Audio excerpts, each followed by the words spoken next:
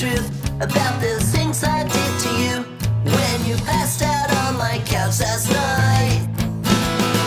You distress so fucking and think you up, so I put my hands in your pants.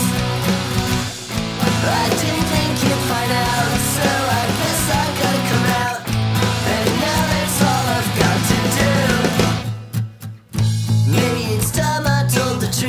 about this.